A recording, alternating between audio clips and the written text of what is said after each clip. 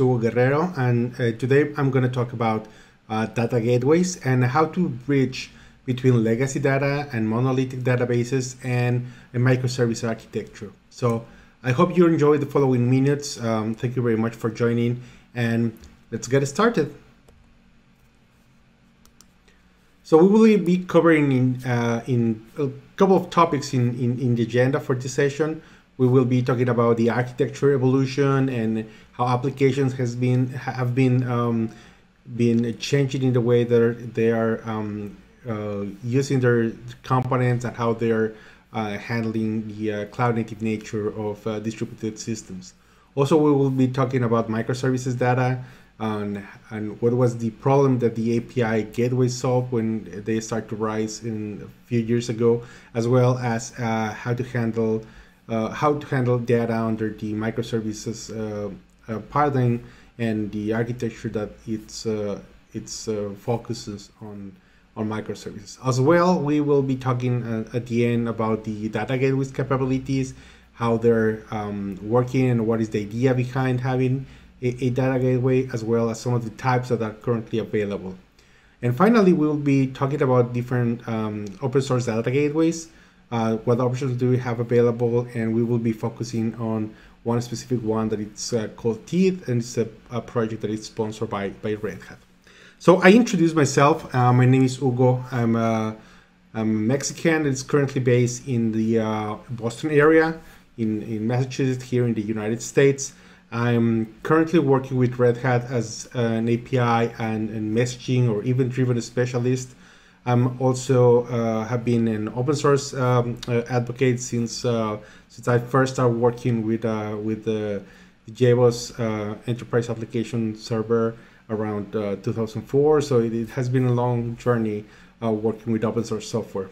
I'm also a history and travel enthusiast, so I, I really enjoy traveling as well as um, discovering new new new food and, and, and new um, uh, uh, snacks or, or, street food around around the world. So here's my uh, Twitter handler. If you want to follow the conversation, you are welcome to just follow or, or tweet or uh, continue to um, uh, post more information on, on, on these topics. So uh, we were talking about what is what is the evolution that applications have been um, coming around since we start moving away from the traditional um, type of architecture of three layers, one single application, one single deployment, or multiple uh, deployment files, but just running the same uh, infrastructure. So first we start with the 12-factor applications. We start to decouple certain characteristics and, and, part of the design of your application, moving away from uh, hard-coded configurations to externalized ways to uh, do injection, as well as uh, keeping different um, uh, uh, source repositories to have different paths and way to handle our applications. Obviously, that lets us us to uh, microservices architecture with the uh, with all the benefits of having uh, these cloud resources that looks like they're infinite and allows uh, us to have uh, several deployments of our applications in different locations. Um, just asking or requesting resources to a cloud provider or in a cloud feature. And finally, the next uh, step on, on, on this kind of evolution is what is coming right now on, on the topic of serverless as well as um, function as a service, right? If serverless being the capability of having all these microservices or containers or functions being able to scale to zero and just being called just being activated while being idle when there's an event or when there's a call or request that it's addressed to that specific um, service container or function and then it, it gets started it do all the uh, the processing that is required and then scale back to zero. Also there's you know this paradigm this this change and, and, and this focus on having uh, also function as a service as a synonymous of, of serverless. But um, that's a specific way of how to handle the code and the packaging and who's actually managing uh, those kind of components. But obviously, they get the benefit of having this option of scale to zero um, as part of the uh, of the function as a service uh, infrastructure. So this is how we have been moving away from um, from the traditional one single block of, uh, of code in, in one single deployment as, as an application. However, this has been uh, only a trend or a change at the uh, processing network layer because most of the times these kind of developments, these kind of microservices and serverless and functions, most of them are um, very dynamic. That's the way they require uh, this scalability, this portability. But sometimes we are actually getting um, away from the from the static nature of uh, one of the components of the architecture that we cannot uh, neglect, and, and that is data. So most of the times you perhaps have been um, facing these kind of problems uh, when when dealing with your application, right? So you have your this beautiful microservices architecture that it's pristine and, and it's ideal and it's ready to be deployed. However, you have behind you this monolithic database, this single source of data that it's has not been refactored, has been not um, uh, work around to make it work with your microservices architecture. So you think you're already there, you think you have already saved, you're just a few moments uh, of crossing the uh, the finish line. However, there's this big monster behind you that is just waiting for you to be distracted to you know um, take that uh, that stuff on your on your back. So um, I am totally sure you have seen this uh, this kind of a scenario before when um, you have microservices that are actually um, sharing at the at a uh, database or are being dragged back by the uh, limitations on on how the uh, how the services um, uh, are limited on, on, on, and coupled in, in the sec, same moment when they're uh, sharing data with other services. So what can we do? Uh, well, we have seen that the traditional architecture has some challenges, also benefits um, when you have all these three layers all together, but they're actually accessing just one single data source or one single uh, type of storage.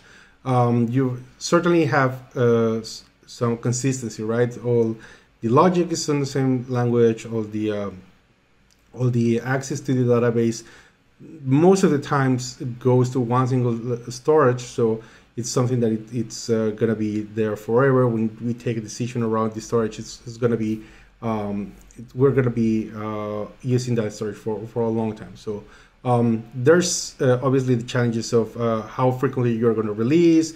If you make change in one of the layers, you certainly will need to be sure that the uh, that change does not affect the rest of the of the architecture and how to make these um, uh, resource isolations if you want to focus on, on problems in a specific component of your architecture. Well, those are the things that we are trying to get a, a, away from. So that's why we have um, this distributed architecture and and there's there's new challenges that we need to deal with when you were switching from the uh, previous monolithic uh, type of deployments, traditional architecture, to the distributed one. So the first has to do with um, microservices being um, a distributed system, uh, a system that it's not running in one single place, but it's uh, it needs to be um, uh, deployed across different um, resources. Called it could be servers or it could be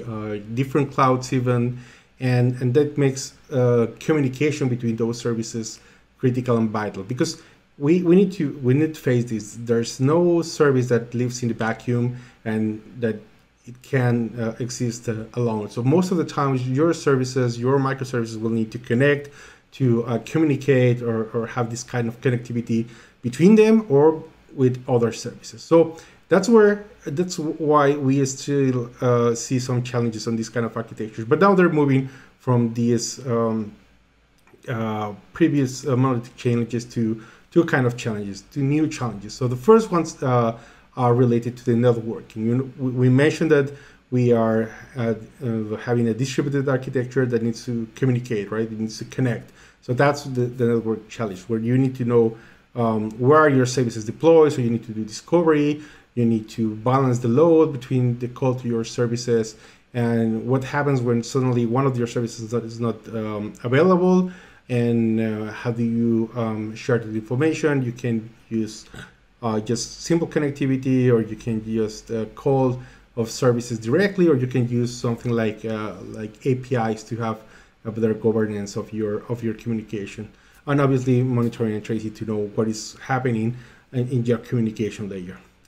The second type of challenge that you get when you're talking about distributed architecture goes in the uh, data layer. So we talk about when, when we're saying um, uh, this monster behind you, that that access uh, also becomes a challenge when we are talking about uh, microservices.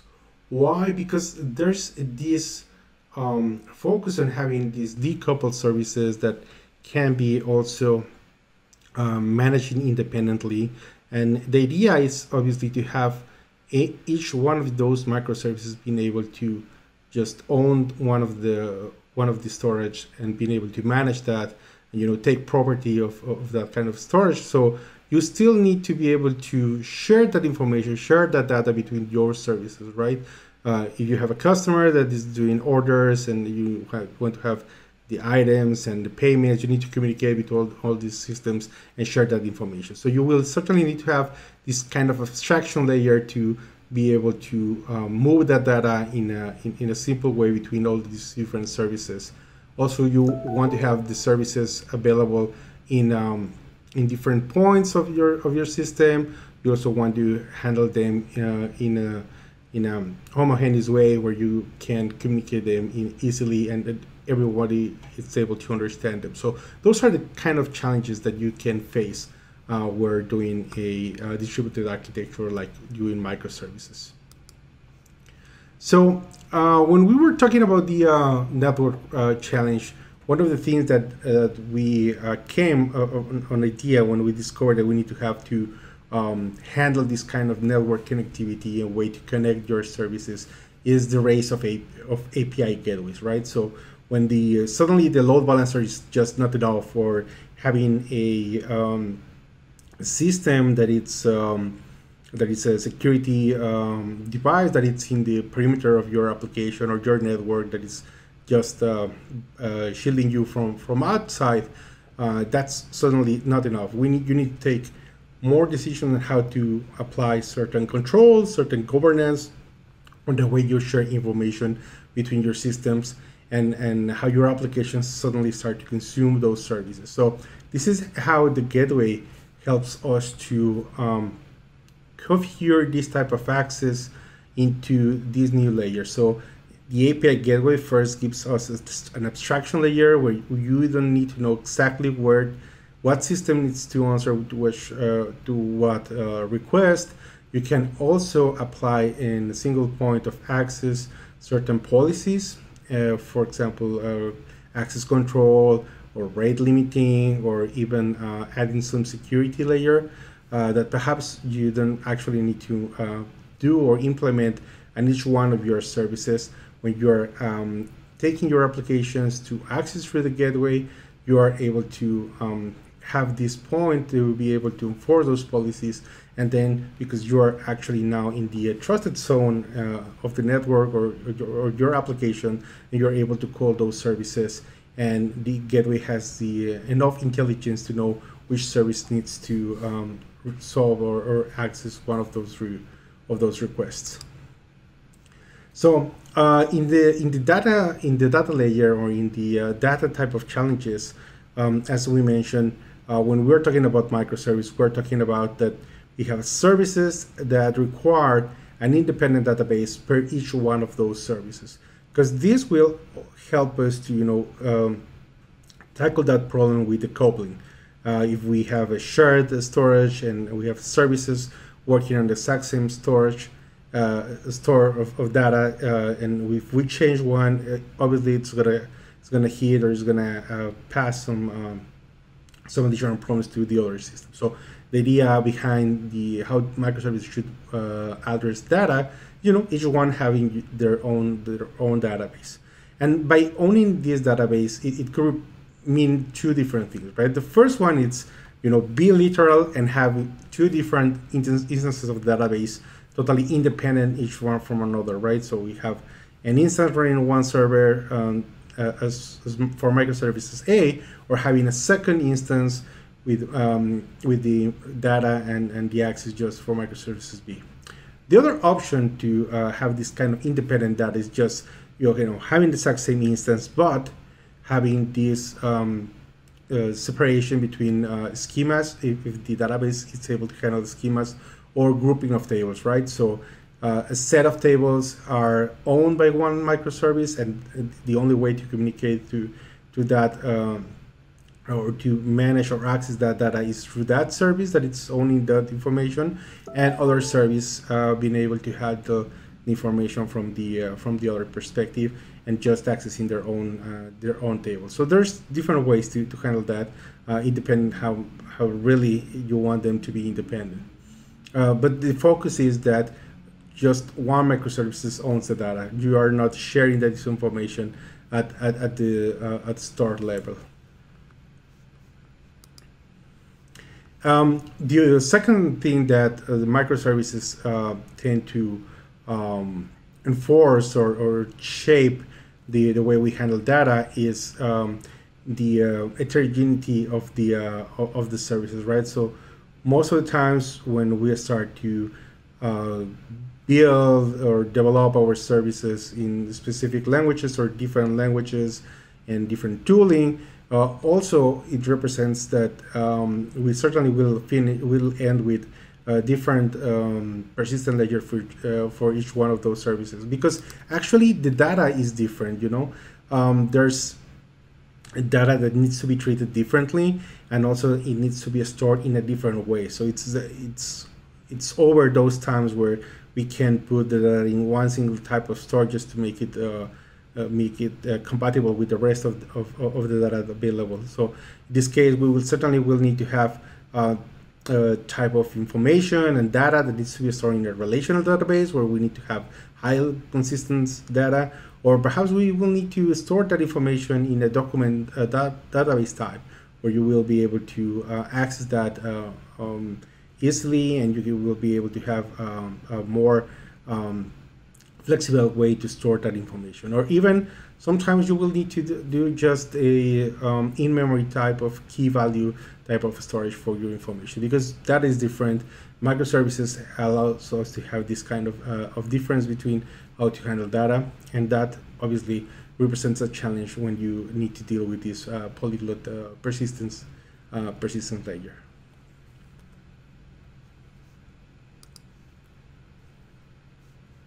So as we can see, we have uh, different uh, type of solutions, um, but in kind of similar way addressing the, uh, the challenges we mentioned before. So in one side, we have the API gateway where uh, we can have this implementation uh, uh and, and, the abstraction of, of, the communication with services, uh, where we are focusing on, um, on a contract through API first design and development, and it's in charge of the load balancing and the network resiliency on how to access our services and allows you to uh, implement certain access control on how your applications are calling the, uh, the microservices.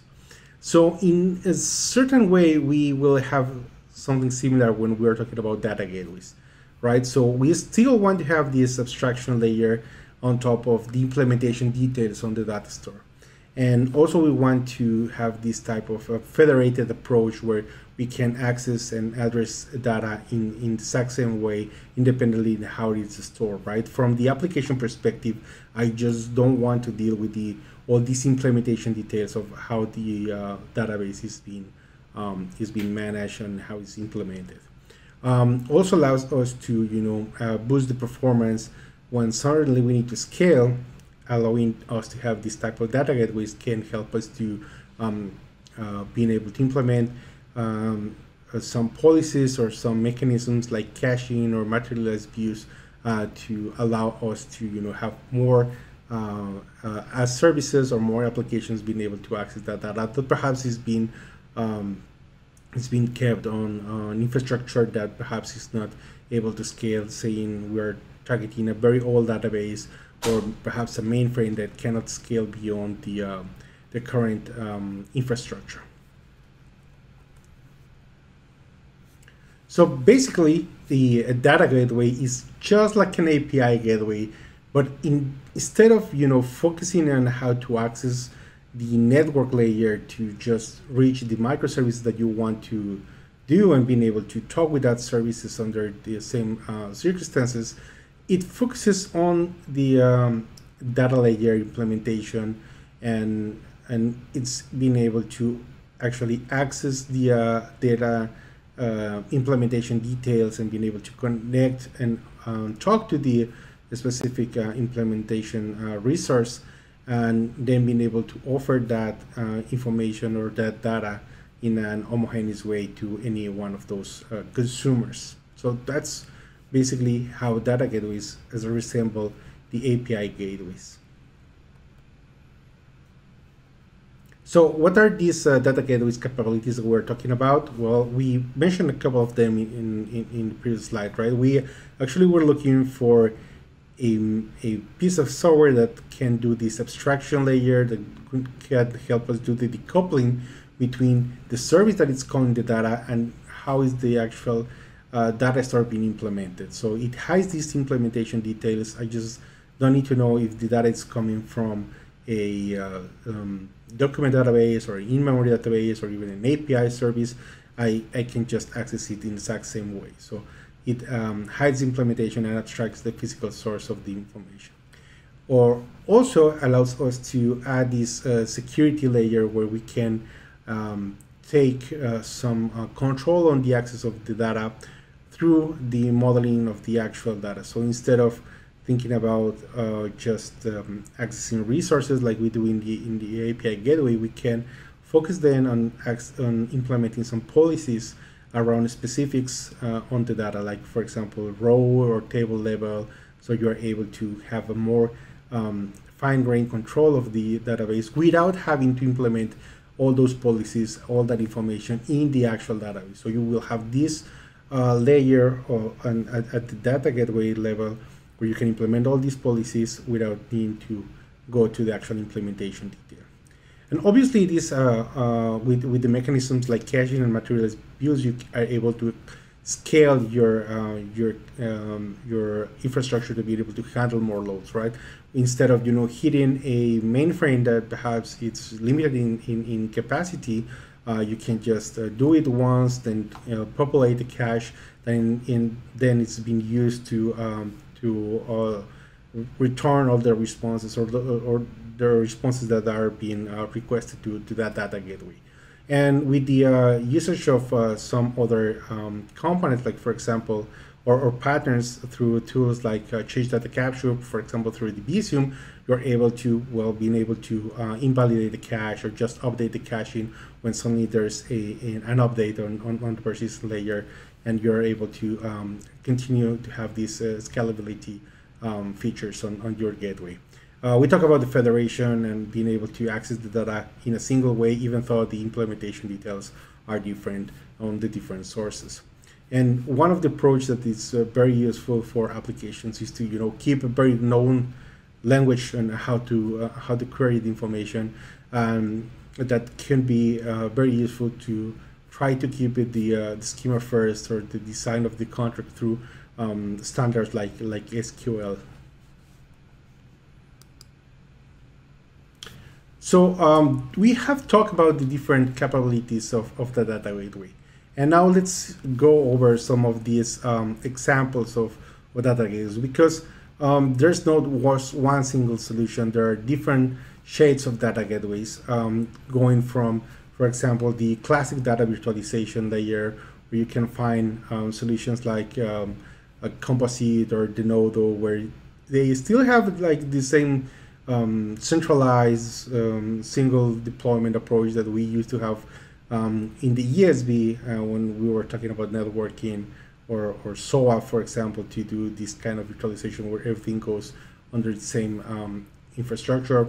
Or you can have also um, the federation within the database where you can uh, have these um, databases like Postgres that can implement some kind of, uh, engines that allows you to um, offer access to the to the uh, to the details of the uh, database through um, standardized um, uh, connectors.